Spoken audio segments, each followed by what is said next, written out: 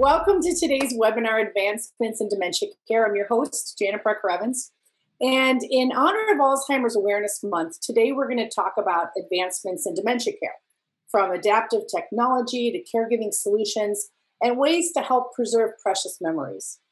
And towards the end of today's webinar, our panelists are also going to take any questions you have. So before I introduce you to our panelists, let's just talk a minute about Zoom and how you can interact with us during the webinar. So things can be different from one computer to the next. But if you look at the bottom of the Zoom screen where you're seeing this webinar, you'll see some icons. The one in the far left is usually a microphone. And we've muted all your voices so that there's no background sound, but I'll explain how you can ask questions or ask for any technical help you need. So the other buttons, the most important is the one that says Q&A and the one that says chat. When you click the Q&A button, a window is going to appear where you can type any questions you have for our Q&A session at the end. So feel free to start asking questions during the presentation using the Q&A and at the end we're going to get to as many of them as we can. The chat button opens up a window where you can chat with the moderator, our presenters, and if you're having any technical difficulties, let us know in the chat. Our moderators are here in the background and they'll help you if they can, right? You're also going to get a follow up email with all of this information you're hearing today, as well as a recording of this webinar. So you can refer to it later or share it with your friends and loved ones. Okay? Ready to go? All right, let's get started by introducing our guest speakers.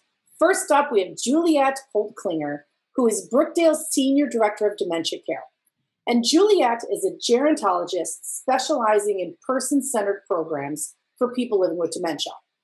And as an educator and program designer for more than 35 years, she's responsible for Brookdale's dementia care program development, implementation, and quality assurance for the company's nearly 400 dementia care communities. And she provides strategy, development, innovation. She also currently serves as a board member of the Pioneer Network, which is an organization devoted to the promotion of person centered care and changing the perceptions of aging. So, welcome, Juliet. Thanks. Thanks for having me. Our next guest is Jack York. Jack is the co founder and the president of It's Never Too Late. And this is a company founded on the idea that there is always time to live a fulfilling life.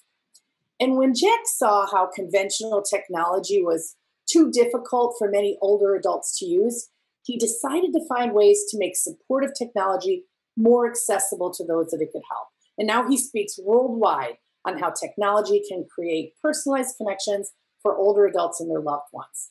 Hey, Jack, thanks for being here. All right. Thanks, Janet. Happy to be here. Great. Finally, with us today is Jay Newton Small. Jay is the CEO and founder of MemoryWell, a network of writers who help tell and save the stories of seniors nationwide. And the inspiration for this company was her father, who had been a correspondent for Time magazine, where Jay is now a contributor. She wanted to make sure that her father's stories weren't lost to Alzheimer's. Jay also wrote the 2016 best selling book, Broad Influence How Women Are Changing the Way America Works. She also holds fellowships from Halcyon Incubator, New America, and the Harvard Institute on Politics. And she won the Dirksen Award for Congressional Reporting. Welcome, Jay. So, Juliet, why Thanks don't you? so much, Janet. Sorry. no, no worries. I know taking ourselves off mute so quick.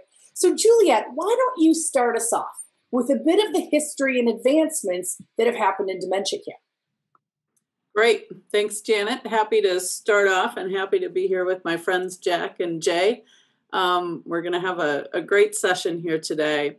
I thought it'd be interesting. I've been doing this work a long time, as my bio suggests, and I thought it'd be interesting before we talk about advancements to talk a little bit about where we've been. Um, so I'm going to give you a very brief, very brief um, history of really dementia care uh, in the U.S. So 1906, we all know that uh, Alzheimer's disease was uh, was named in that year. Doesn't mean it didn't exist before then, but uh, Dr. Alzheimer named it after himself. Uh, so we had the birth of Alzheimer's disease as we know it. In the early half of the 20th century, you know, folks with dementia were really cared for at home. Um, sometimes, if they didn't have family, they would uh, live in almshouses or houses for the poor, houses, homes for the aged.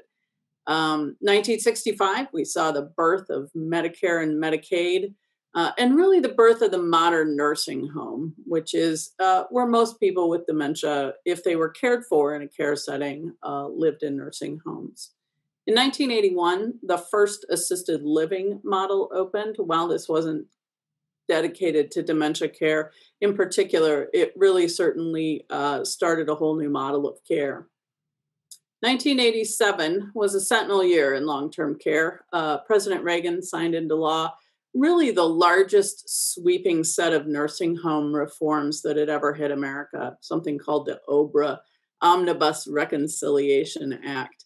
And this really changed a lot of regulations about how we provide care, and particularly how we provide care for people living with dementia.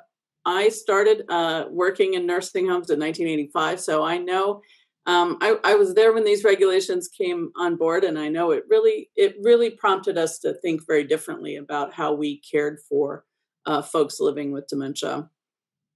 In 1987 or so, it's very difficult to find this history.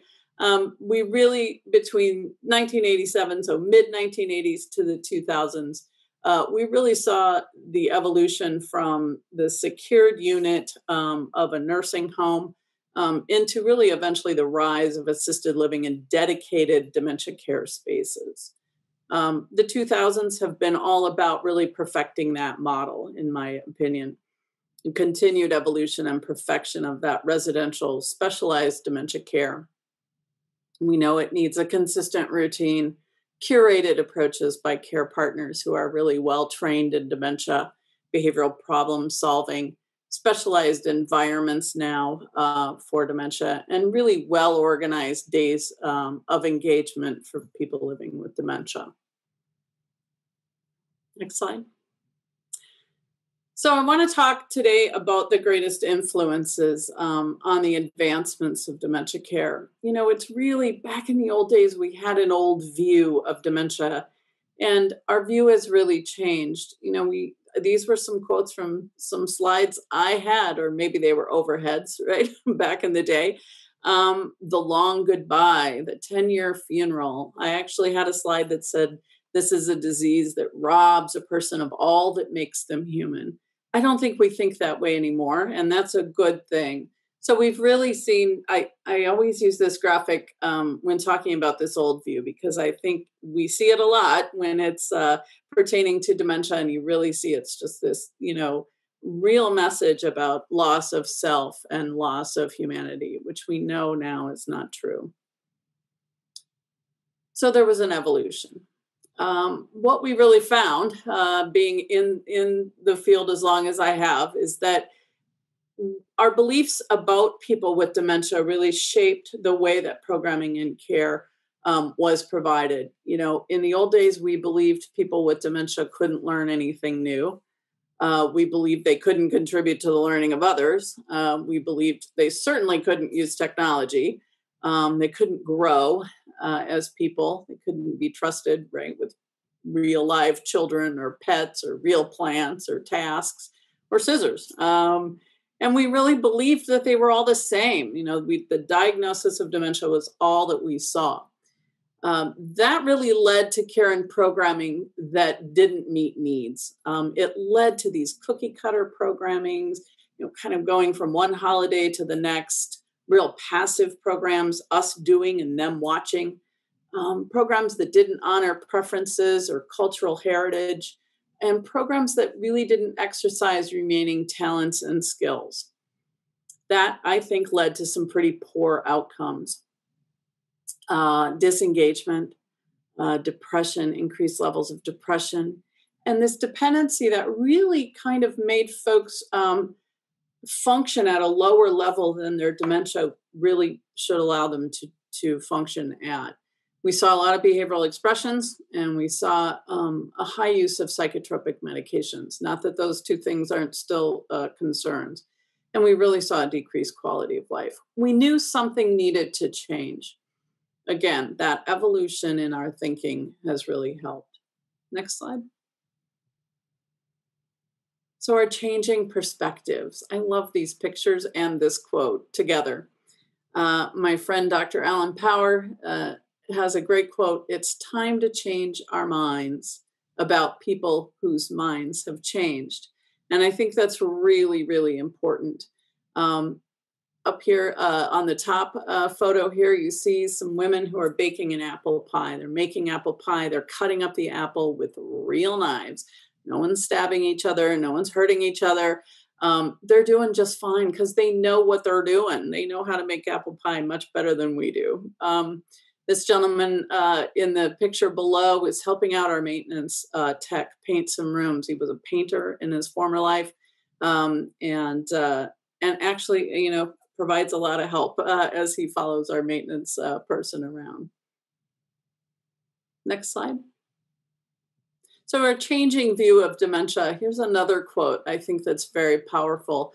Uh, Dr. Atul Gawande, um, who wrote a book called Being Mortal, which is a great read uh, if uh, if you're looking for something to read. And he talks about the changing evolution in medicine and person-centered care in medicine in the book. And I love this quote. We've been wrong about what our job is in medicine we think our job is to ensure health and survival, but really it is larger than that. It's to enable well-being. That's that's our uh, our belief too at Brookdale. I love this photo. It talk it it really speaks to the relationship that happens in our communities and how important that is. So our changing view of dementia really involves changing that perspective and shifting the view um, away from dementia as purely a biomedical concern that the, the doctor and, and medicines are going to address. And really, that view of what is wrong with the person, the focusing on the symptoms. Instead, we have shifted to a more holistic, what we call biopsychosocial view, uh, promoting well being and living well with dementia, which promotes engagement and partnering approach from our care uh, partners, a positive environment, and focusing on what's right with the person and what does the person still have to contribute. We've reframed our view of dementia um, and really adopted person centered care values and practices. Person centered practices have also been a great influence on the advancement of dementia care.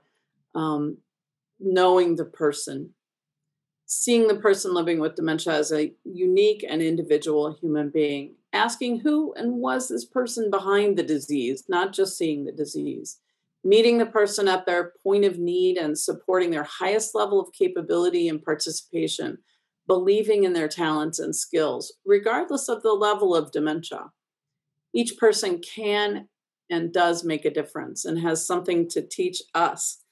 Uh, risk taking is a normal part of life and shouldn't all risk shouldn't be removed just because a person has dementia. And really promoting the growth and development of all is important so what can prevent a person uh, with dementia from being well known we're going to hear a little bit later from jay about uh, telling stories but people with dementia have difficulty sometimes telling us their own story in their own words. Um, but also, sometimes I think we don't get to know people with dementia because we view that person through the lens of dementia. We see them as no longer really connected to their past or their community or family and friends. We see that loss of self that I've talked about. And we think, you know, they're not good historians. Um, and so we've asked ourselves these questions, you know, how can we overcome this stigma in our own practice at Brookdale and view the person person living with dementia in another lens through another lens uh, can a tool help us connect uh, who they were prior to the disease to who they are now i love these photos as well this woman uh, came to live with us in one of our crossings programs um, and she she was kind of cantankerous not in the best mood didn't really want to be there we didn't know much about her she was very quiet didn't really want to talk about herself. We didn't have a good sense of who she was. And then her daughter in law brought in some photos for us, and uh, we learned that she actually had quite a colorful past. She was a buffalo rider in the wild Bill Buffalo show uh, and traveled uh, the the country as a young woman, um, riding buffaloes for a living, which uh, certainly uh, was a first for many of us. Next slide. So at the same time that our you know our views are changing about people with dementia, we're getting barraged with all kinds of new technology. I probably have a different technology vendor or person reach out to me every week to uh, look at what they've they've uh, invented. Um, you know, there's just all kinds of everything from wearables to falls detection to robots uh, and engagement technology. So it was really important that we begin to look at how can some of these tools help us provide better person-centered dementia care. Of course, we had to start that journey um, by confronting some of our own ageism. Um, and I think ageism has really shaped, if not curbed, uh, people's perception of how elders can adopt technology you know, people thought I was crazy when I said I wanted to put computers in every single one of our uh, Clarebridge locations for the residents to use. The residents, we didn't even have computers at that point in our in, uh, independent living or assisted living communities. So I'm happy to say the residents with dementia were the first to adopt to technology. But I Googled uh, older adult and uh, computers, and this is what came up right? This is the perception um, of of people, uh, older adults, and their adoption. We found the opposite to be true. People with dementia adopt very well to the use of technology.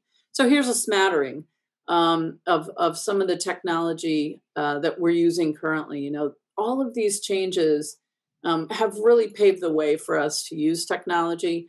And to, I think technology is the new prescription uh, for the treatment of dementia care. Here you see uh, the robot companion pets. These are um, sensing robots. These are amazingly uh, lifelike. It this robot is under a hundred dollars um, and can be used in any setting. Um, the chair not at quite uh, as an affordable price point. Um, this is a very specialized uh, relaxation chair for dementia. Um, that has music that plays and and has a series of rocking motions um, very interesting technology that we're using in a few of our Clarebridges. The uh, It's Never Too Late, which Jack is going to talk to you a little bit about, is our, our standard platform for engagement in Clarebridge. And this light wellness system that um, actually was developed for the training of elite athletes uh, and their neuroplasticity uh, and really working on the brains of, of elite athletes and we're using that now in our dementia care uh, communities to help with therapies and helping people uh, with dementia um, with hand-eye coordination and some of these other uh, brain pathways. So lots of ways that we're using technology uh, in in uh, our Clarebridge communities. Well, that's great. Thank you, Juliet. There's really amazing technology here at Brookdale, not just elevating the care for the residents, but also helping them stay connected with their families. So why don't we turn it over to Jack with It's Never Too Late? And Jack, why don't you tell us a little bit about your work with Brookdale?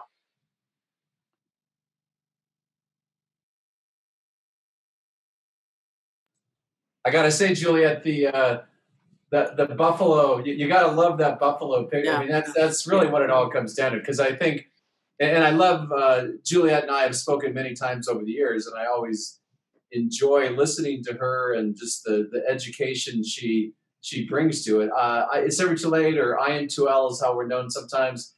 We've been around for 21 years, and our the whole start of the company was simply a friend of mine had lived next door to an assisted living community and saw that these residents looked bored, and so she talked me into uh, donating a couple of computers to that uh, community in Southern California, and uh, just fell in love with this whole opportunity to be able to uh, just just change the perspective that that people had, and I, and I went into it, and why I part of why I love speaking with Juliet is because she's been such a mentor to me over the years. If uh, if there's ever a Jeopardy category of dementia, I would call uh, Juliet right away to walk me through. But it, it, it when you really cut through it, it's not. It, it's there's such a common sense component to it And this whole what you're looking at right here, this whole engagement matters. I mean, that's really what we've we've built our company on is that it does matter to be engaged. But I think what happens, uh, whether it's just aging or whether you're talking specifically about dementia, people get put into a box that's totally irrelevant. And I, Juliet, you get sick of hearing some of my analogies, but I, uh, I, I, ever since I was about 16 years old, I've been a big Bruce Springsteen guy. And so, you know, whether I'm 16 or 30 or 40 or 50, and now I'm 61, I, I am a big Springsteen guy. So it's not like I'm going to become 70 and, and damn it, get me the Carpenters. You know, I mean, it just, you, we are who we are. And, it, and it's, there, there's good things about us and there, and there's maybe not so good things about us. And what the, the brilliance of how uh, Brookdale, I think, has integrated IN2L uh, into their programming uh, under Juliet's direction has been to really take that that concept that she's talking about, that whole each person having their own experience, meeting people where they are, not having the stereotype. Technology is is a tool to get there. It's a tool to get to again forget your age, forget your cognition. Uh, to, to, to, to you, Janet, maybe you're gonna want to see some kind of religious experience, and I'm gonna want to see something else, and I'm gonna want to see the Nebraska Cornhuskers, and Juliet's husband's going to want to see the Chicago Cubs. And it's it's just about technology as this tool. And I'm so unbelievably optimistic because it's just getting easier and easier, better and better uh, as a way to get there. So there's lots of data to back it up that you see here, but to me, it's very much driven on a common sense context.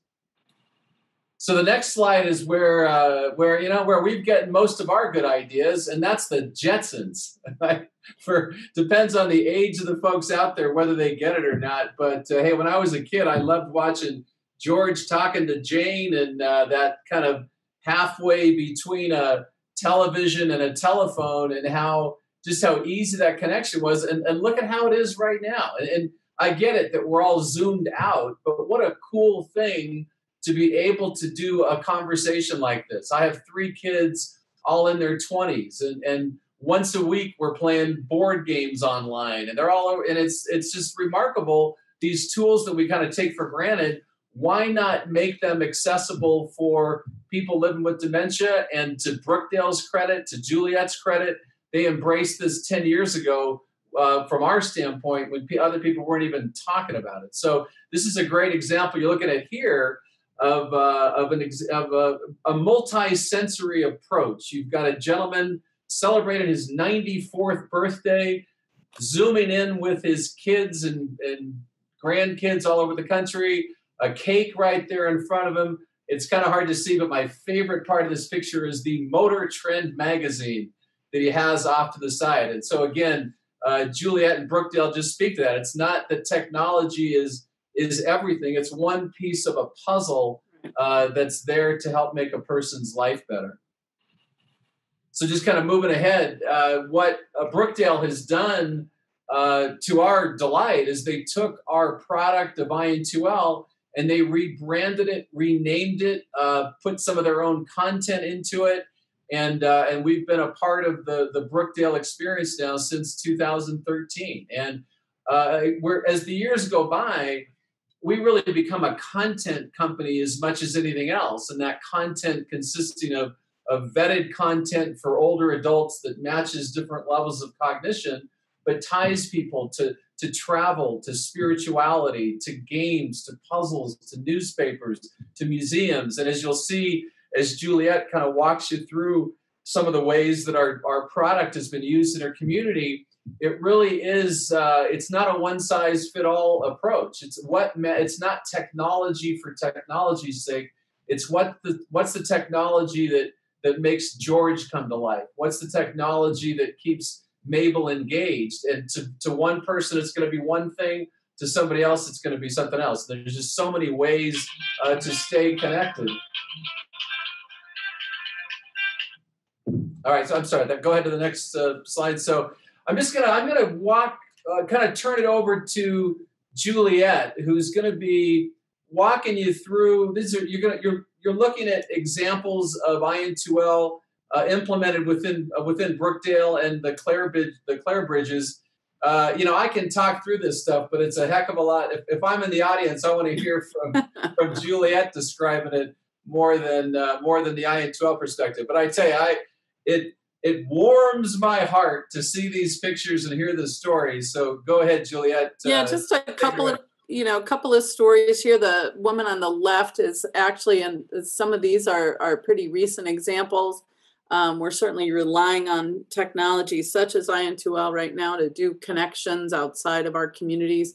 The woman on the left was a former tennis player and is in here is um, uh, connecting over Zoom, I believe, with the um, University of Northern uh, University of North Carolina uh, tennis women's tennis team, and uh, they were exchanging some conversation about um, tennis and um, reading a book together on tennis. So just fascinating connection, intergenerational, great intergenerational. The woman on the right is um, being guided through her old neighborhood by Google Earth. Um, and this is a very uh, popular activity that we do often. Um, and Google Earth, you can, you know, you can pull that down on any computer. Um, and it's a really fascinating thing for folks to be able to go through their old neighborhoods, staying connected the woman on the left here, um, Lillian, is uh, in her 90s uh, and lived in one of our communities and um, hadn't seen her sister in close to a decade. Her sister, also in her 90s, uh, lived um, very, very far away across the country. You know, these two ladies were never going to be in the same room again physically. And um, they were able, we were able to connect um, the uh, the two residents with Skype and um, they ended up skyping nearly every day and having sister chats every day um, and really we're able to reconnect in a beautiful way over skype. Um, on the right is uh, edna who is spending her 103rd birthday here um, using the system and playing a trivia game. She's actually using one of the reaching tools to help her with the touchscreen great way to spend her 103rd birthday. Next slide. This is a video that I think really uh, does a great job of um, explaining the connections that we make uh, via the system. Go ahead. Well, you know, um, there's one, and I and I keep t- I keep telling my friends this story. I remember when we were one time one one year when we were camping at Yosemite, we were with uh, Ken and Louise. Um, gosh, I can't remember their last name. Ken and Louise, they had a boy named Rick and Ricky. I can't remember what their last name was. But anyway, we were camping with them. Jackson. Jackson, that's right. Ken and Louise Jackson and Ricky Jackson, yeah. And um, it was in the evening, and you, you went and hid behind um, the garbage cans, and somebody had Louise go take the garbage to the garbage garbage cans. And when she got to the bed, you were terrible. when she got to the garbage can to empty the garbage in there, um, you you jumped up from behind the garbage cans and went like that, like a bear, and um, it scared the the living daylights out of her, and she she ran screaming away, and everybody was laughing, and, and I don't think Louise thought it was so funny. no, I don't think so either. but everybody else did. But oh, that was that was hysterical. That was so hmm. funny. so I so just a great example of and you know thankfully the person with dementia was there to help her remember the the name right go ahead jack. I think yeah. Uh, you're up on this one. Yeah just this is a great example of this is from three years ago and, and it's just a great merging of education and and senior living that uh, this is a community in uh, in california where the husband and the wife are are uh, the wife is living with dementia and that's their grandson. And the the grammar school that he goes to the teacher was sending the lesson plan to the community a week in advance, uh, and you'd be able to have this interaction between the grandparents and the grandson. So uh, go ahead and hit the clip. Just play it for about 10 seconds.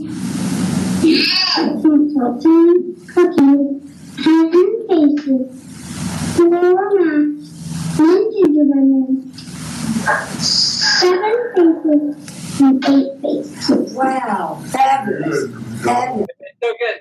Yeah, you can, you take it. So again, it's just the, the the world that we're living in right now. You know, it's we get it. It's scary. There's there's all kinds of stuff to try to figure out, but there's also unbelievable amounts of opportunity to take advantage of this technology that we never could have dreamed of uh, before. And that's uh, it's just cool to be able to be uh, to be able to be a part of that and to have uh, just Brookdale just embrace it in ways that, frankly, I never could have imagined. I think one of the the you go to the next slide. But one of the proudest things for me of anything I've seen, Juliet, is I think last year when we went over the five million hours of usage of, of our technology in Brookdale, and it really it's it's pretty powerful. So yeah.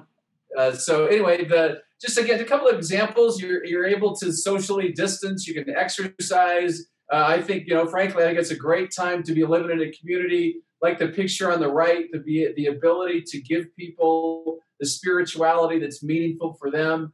Uh, and and if there's a lot of people have uh, of sight issues, different. You want to address the different issues, but again, it's fundamentally uh, we're all the same wherever we are. Yeah. Go, go ahead. Next slide. Yeah. So, so anyway, just dropping things up. I mean, again, I'm just gonna to say it over and over again, but it just we're all unique. Uh, technology should be unique. It should. It's not a one size fit all. Uh, and and Brookdale has really epitomized that just in the culture of how they deal with people living with dementia, uh, the joy that is still out there. If there's family members that are out there, and and it's I you know it's tough, and you know that there's so much angst that you're dealing with but man, you, you get somebody connected with their song, you get them connected with a priest saying the rosary, whatever it may be. The joy is still there. Most organizations don't get it, uh, and, and Brookdale does. So the, the last slide is my last slide, and that um, is, is really just you, you look at examples like this. The lady on the right, uh, it, it's a tough, get it, it's a tough time right now. Do we don't want to dwell on it, but it's cool to be able to keep people connected when it's not always easy to do in person. Juliet, that's I don't want to steal another Brookdale story. Oh. Give us the give it give us the pilot there. I love yeah, you know story. the gentleman on the left was uh, brand new uh, to had had just recently moved into Clarebridge. wasn't liking it so much. Uh, wasn't uh, having uh, too good a time on his first 24 hours, and we discovered that he had been a pilot. Um, and uh, so we hooked him up with a flight simulator uh, game program that's a part of the It's Never Too Late, and he decided he was going to stay. So yeah, yeah, yeah. he was very happy at that point. Yeah, and so I guess just my last line is that uh, if you are uh, a son or daughter and, and, and dealing with that painful experience of, of, of having to, to put your mom in a community, absolutely demand engagement technology and if you're dealing with Brookdale, you don't have to demand it because it's already there. So thanks for uh, thanks for having me. Sorry, my phone rang. Protocol speaker protocol violation. Juliet will will address me later about. We'll talk that. to you later about it, right? Yeah. Jack, thank you so much. It is so incredible to see the residents with dementia thriving with all that technology from It's Never Too Late. I love the flight simulator and the grandparents talking to their grandkids on that life size screen. Um, quick plug for our previous webinar. We had a webinar a couple of months ago on technology options that are perfect for seniors and some specifically made for them. You can all watch it um, on our website. If you go to brookdale.com slash in the know, it's also at the bottom of this screen. You can see all of our old webinars, including the one on technology and other topics. Um, also, reminder, you can pop your questions for Jack or Juliet in the Q&A below. So just click that and start en- entering questions. We're going to answer them at the end, but questions you have right now, please pop them in. We have a couple people that have done it, but go ahead and do that, and we're going to get to those as soon as we're done. So thanks for that. So as we know, um, as dementia progresses, memories get lost, right? And MemoryWell is one way that families can support and remember their loved one even through the stages of dementia. So let's take a quick look at this video about Jay and her story. A lot of seniors have amazing stories that are being lost. Their quality of life depends almost entirely on how much you can engage them. And I think that biography is absolutely key to that. MemoryWell is a platform for digital storytelling where we tell the life stories of seniors to help connect them with their caregivers. Whomever is sitting with them, whether it's a paid caregiver or a grandchild, they have a whole toolbox of things with which to engage them. My career has been in journalism, so I've spent 15 years as a national correspondent, either for Bloomberg News or Time Magazine. I became my dad's caregiver in 2011 so a few years ago, I moved him into a community, and when when I did, they asked me to fill out this enormous 20-page questionnaire about his life. Who was ever going to read and remember 20 pages of handwritten data points for the more than 100 residents in that particular community? Nobody, right? So instead, I wrote down his story and they loved it. They remembered it. They told each other about it. The fact of the matter is, is that most of these communities see on average 55 to 60% staff turnover annually. And there's a huge amount of new people that my dad and those residents are constantly having to introduce themselves to at a time where they really can't introduce themselves anymore. MemoryWell was born from that experience. We now have a network of more than 600 writers that we work with across the country. We're in 35 assisted living facilities in 19 states. And then we have a digital platform where we host the stories and families can build on them and they can add in their loved ones' favorite music and movies and arts and reading. So the stories aim to build connections and build empathy. Hi. Hi. I'm just going to start at the beginning. Um, mm-hmm. So tell me your name and when you were born. My name is John H. Newby. I was born November 23rd, 1938. I joined the Army in 1965. I think everybody has that grandfather who every Thanksgiving you think, man, I really need to get his stories. And every Thanksgiving you don't do it and that opportunity passes. So, what did you study for a master's? Social work. Are you the only one with a master's degree in that generation? Right.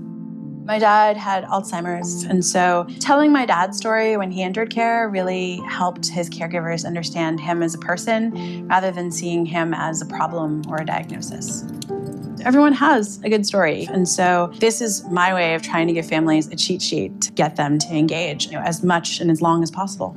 The transition moving someone into assisted living is one of the hardest, and being able to capture those stories, not just for their families to remember, but for society to know them, I think is really amazing and profound.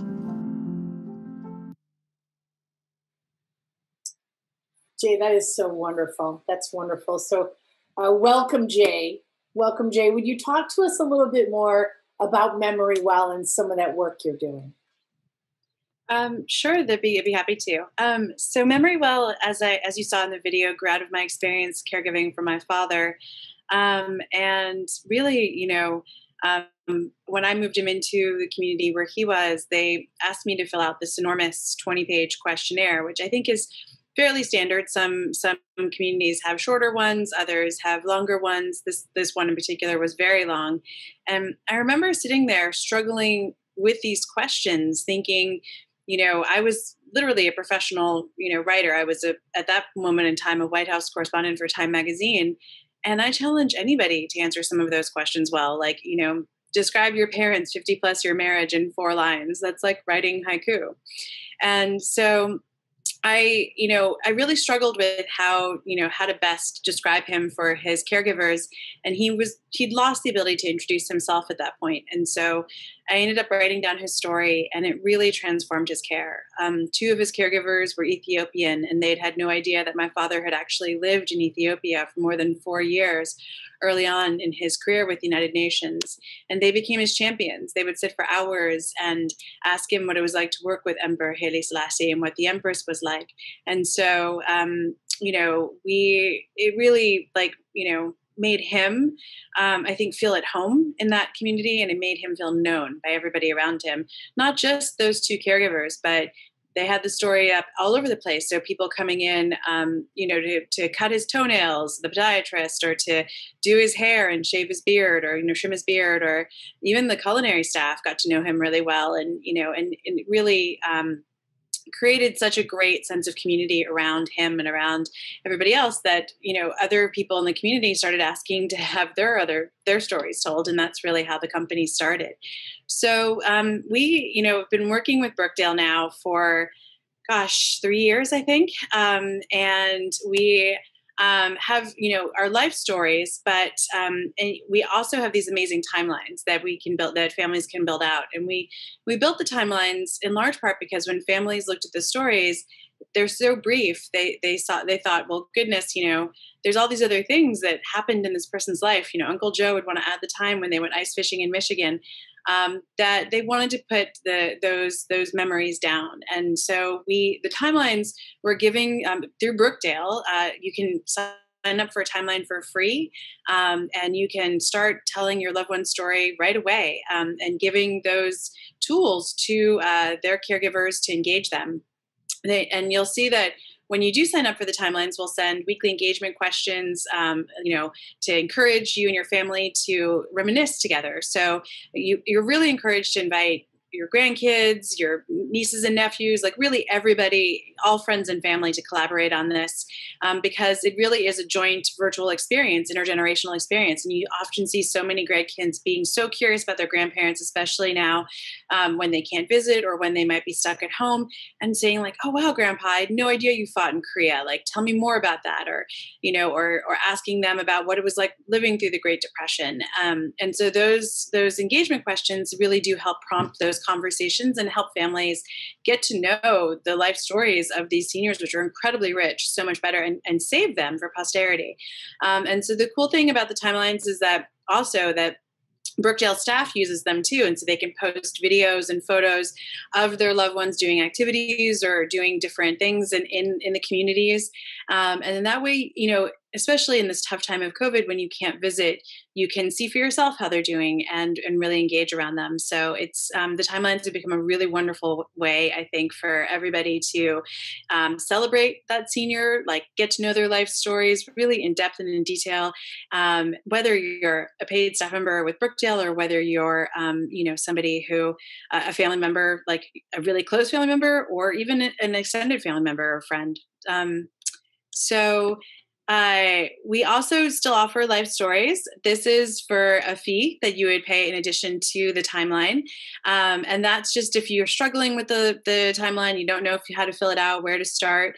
Um, we have a writer who can get you started and get you down the road, and we can do that brief life history.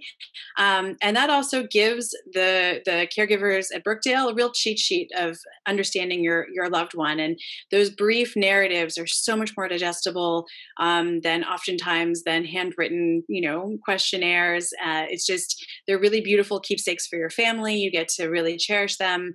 Um, you can print them out into books um, for also an additional fee. So um, they're really lovely Christmas gifts and holiday gifts, um, especially this year. So, uh, so yeah, between the timelines that you can build out yourself, which you can also print into a book, or the stories themselves, um, we'd be happy to get you started in either one of those. Uh, and we think it's just so important to be able to capture so many of these senior stories um, right now, particularly for those living with Alzheimer's and dementia who might have their, their memories fading.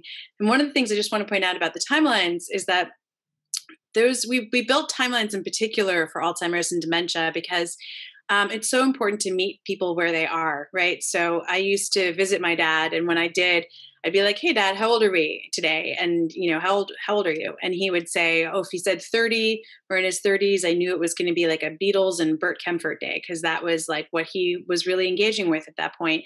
And if he said 50, I knew it was going to be a Simon and Garfunkel and Mash kind of day. And so, um, being able to have those multimedia like interests and loves um, at your fingertips from all those different eras enables you to really engage that person go right to that that decade and have all of those things right there to engage them with.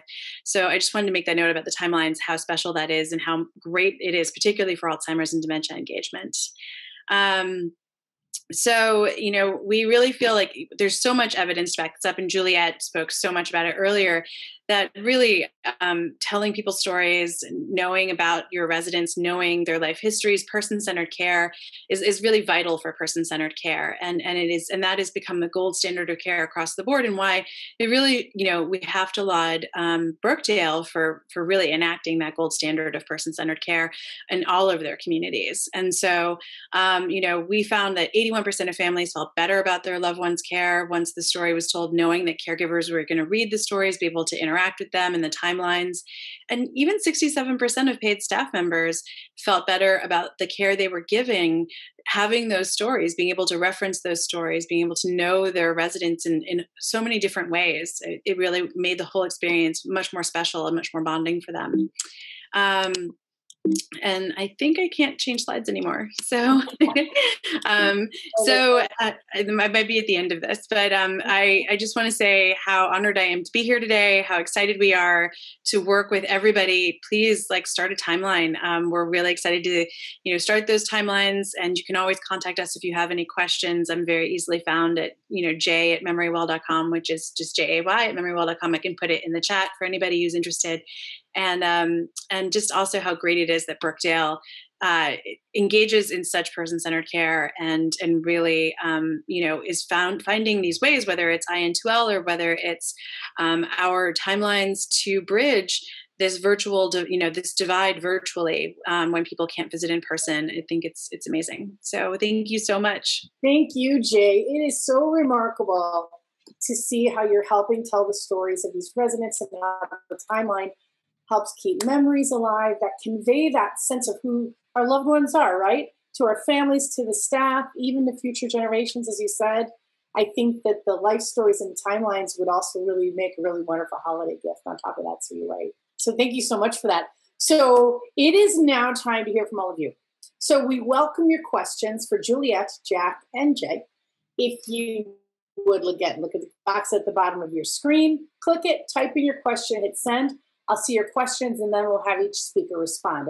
We're going to get to as many questions as we can. And don't worry, like I said, you're all going to get a follow up email with all of the recording of this webinar so you can refer to it later, share it with your friends and loved ones, find it on our website as well, which is on the bottom of your screen. So let's get to our questions. And the first one, I saw this one come in, and I love this question. Jack or Juliet, can you give some more details on the robot companion pets? And are dogs available too? And how long do people normally get to have them for?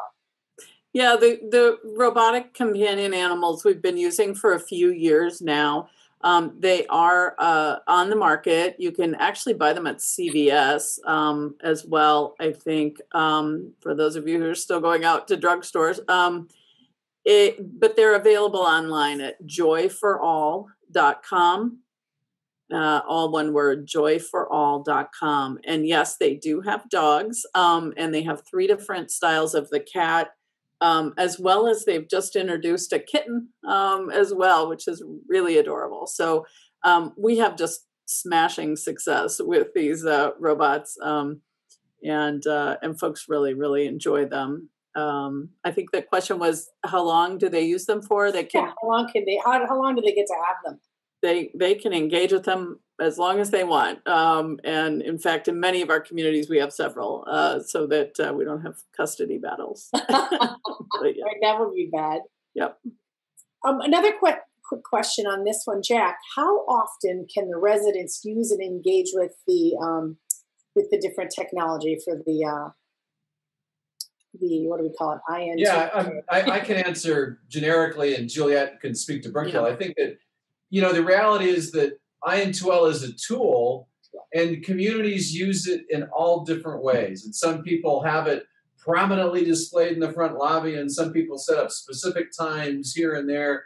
Uh, a lot of communities get multiple systems and tablets, so they're able to have uh, the engagement take place uh, in, in, different ways. So it's it's always hard for us to generalize because we we have, gosh, almost 3,500 communities with our technology, and they uh, they they do it very differently. So how would you answer that, Juliet, from a Brookdale standpoint? You know, we we use the IN2L for for many hours of programming. I think we average about eight hours um, of usage per day. So we're able to see each community and how often they're using um, using the system, but also what content they're using. So we can tell um, if they're just you know um, playing music through it or if they're actually using some of the games and puzzles and and brain games and those kinds of things. So we monitor that the dementia care team um, monitors that and we um, we have no trouble with uh, with increasing that usage. Um, so about seven to eight hours a day it's used in the communities so it's used for individual but it's also used for group um, when we have groups, um, uh, which we're not doing as many of now, obviously, uh, with COVID, but um, we can use it for any size group as well as individual. It can be rolled into somebody's room for private, you know, conversations. That's great. Thank you. Jay, we have a couple questions coming in for you on MemoryWell, and one of them is, um, can when you do this, can it be for people other than dementia patients? Can anyone do this? Jay. Yep, sorry, I got to always unmute. um, is the sign of the times. Um, yes, we can. You can absolutely do it um, for patients at home or anybody living at home. You know, when COVID started, we we made our timelines available, um, and if you just go to our website memorywell.com, you can see uh, there's a banner at the top of it that says, you know, sign up for your free timeline now. We wanted to be able to connect patients and families, or really just any seniors aging in place and families, because we were hearing so many heartbreaking stories of families just so isolated, the seniors so isolated, and they were dying of loneliness. We heard, you know, there was this one, um, you know, couple whose stories we'd actually done in Maryland, and they'd been married more than sixty years, and it was the saddest thing. You know, the the wife started to see um, symptoms of COVID, and they separated them, and the husband couldn't like live without her. I mean he they both had dementia and he just wouldn't eat and wouldn't sleep without her. He didn't know how to do how to do that anymore. And the the facility in the community tried as much as they could to use the timelines to play his favorite music to read him from to him from his favorite books to like show him photos of his wife from their history. And his all three of their children wrote us these really lovely notes and when when they passed about how um, that had been really the, the saving grace towards the end. But you know, ultimately, he died of loneliness before she died, and then she died within a day after. And so, just hearing these heartbreaking stories of these folks who were so you know lonely, um, aging in place. We've had we've had so many letters from people who are really lonely. There's been studies done by senior list that show that 43% of um, seniors feel more lonely since the you know onset of covid um, it's just so important to find ways to engage them. And so, yes, anybody can use our timelines, you know, for anything really. And we encourage you to, to, to go ahead and sign up. But it's important, I think, if you are, if you do have a loved one in Brookdale, Brookdale in particular, um, we you know offer a discount with Brookdale folks for the stories, and we also um, once you sign up, you're then tied into that particular community, and then staff can see those right. stories and can see those timelines and can use them. So it's so Brookdale specifically, like if you if you are in Brookdale or, go, or thinking about going to Brookdale, that's like a really great way because that that means the staff can be able to engage around that person as well and and, and really communicate on those time that timelines as well. That's great. Thank you. We have a question coming in from Sarah. If residents can't remember how to operate the technology or make a call or use any of these great things, are there people available to help them get started? Or are there like regularly scheduled technology sessions for the different residents? Yeah, absolutely. I mean, all of all technology t- typically everything in clarebridge pretty much is is um, whether it's technology whether it's dining whether it's dressing um, is assisted. I mean that that uh, is why folks are living with us in Clarebridge. So um, technology is no different. Now that's not to say that people can't learn to use these uh, systems by themselves. The IN2L is is is you know particularly intuitive, um, very visual. We find that folks, um, even in the pretty late stages of dementia, will eventually learn you know um, their content is behind a, a button, uh, right? A place where they touch that has their picture or a picture that they might recognize um, readily. So we find people able to use the system pretty easily by themselves, but of course they're always assisted as well. Um, there's no limit on who can use uh, use the technology. Three o'clock in the morning doesn't matter. It can it can be used at any time of day.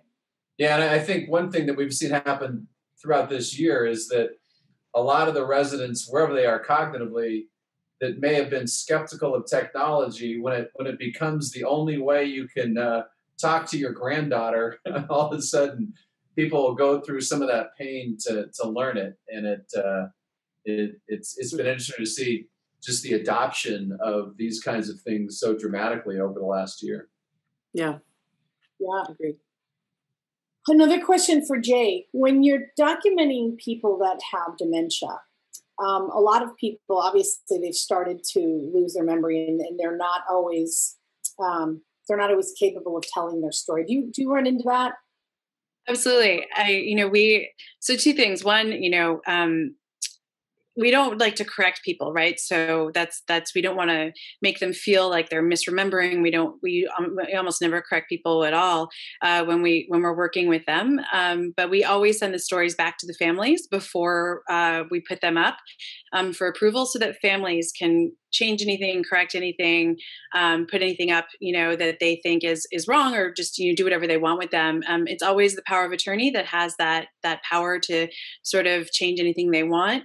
Um, we certainly are not here to um, to to fact check you. So we we had, for example, one really interesting story where um, a patient was a pathological liar, and that was a thing that he was, and he had these three really distinct personas, and those personas was one was a race car driver, one was like a surgeon who'd gone into Europe, you know, with Eisenhower after World War II, and um, and he told us these stories. They were fantastic stories. He was a great storyteller, and we presented them to the family, and the family was like, "Well, no, actually, he was a dentist," and, like, and so, but they actually left it up. They the family said, "You know what? Leave them up because that's where he is in his head. That's who he he believes he is, and we don't want to correct him. We don't want to make him feel awkward or bad or you know that he's wrong in any way." So so we left those stories up, um, and so we really want to meet them where they are. As as I said earlier, that's such a great way of putting it, and making sure that they feel accepted and loved for for who they are and celebrated for that, even if it wasn't exactly who they were in real life. Yeah, that's great.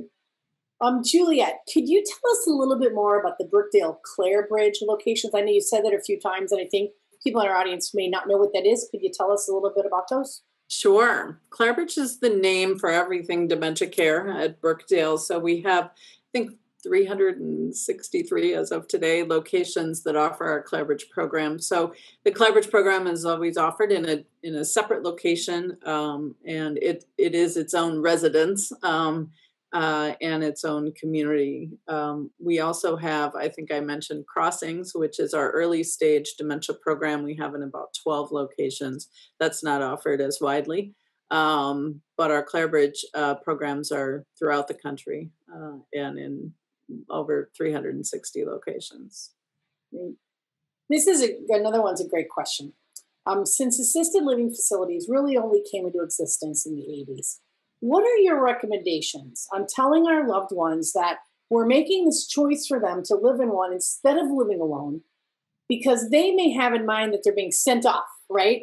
With the yeah. associated stigma of nursing home. When you look at the stuff going on at Brookdale, like this is a completely different world. How do you, and, and what advice can you give people on how to sell this idea to people, to their loved ones, and get them to understand it's a very different world?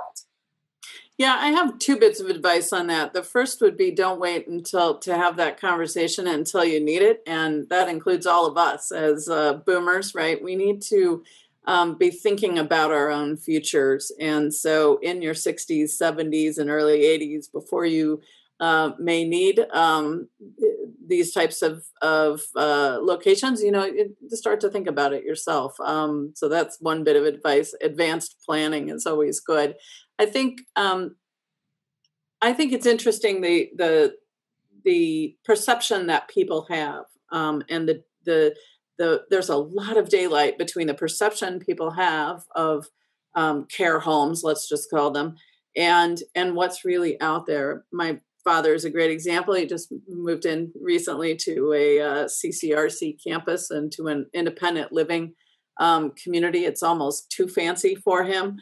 Uh, but he still had this really negative perception of the nursing home and the dementia care and the assisted living. So said, go look at them. and he did and he boy those are pretty nice places you know yeah they are really nice places so i think the other um, advice would be you know to to come and tour and uh, to get people um, into the space to experience it for themselves you know we offer respite care in every single one of our clarebridge locations and this is a great opportunity for caregivers uh, to to take a break um, sometimes it's it's uh, it can be very helpful to just take a week um, if you're in that caregiving situation at home. It's also a great way for people to get used to uh, living in uh, memory care um, for both the caregiver and for the person living with dementia. So, uh, touring and certainly getting yourself into the space, um, but also utilizing that respite uh, care can be a really helpful way to uh, to dispel some of those um, false ideas about what it looks like uh, on the inside or what it is on the inside.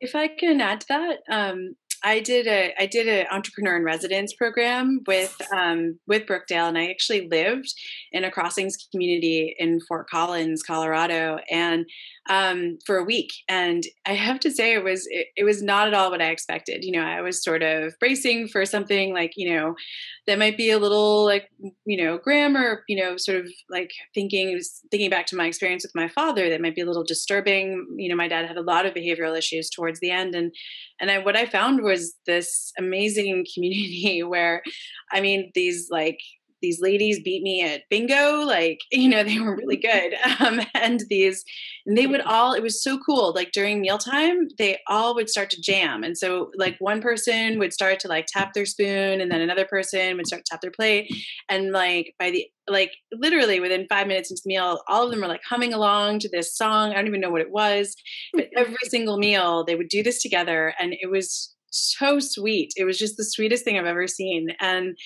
you know, it was just really great to see the, the community that they formed together and how like they gelled as like, you know, they're a group and um and sort of how they like were musically inclined and yeah so i just i found i found it a really great experience. And i so i i also encourage you to visit one. It's not at all what you might think it is. That's awesome. Well what a wonderful sense of community right?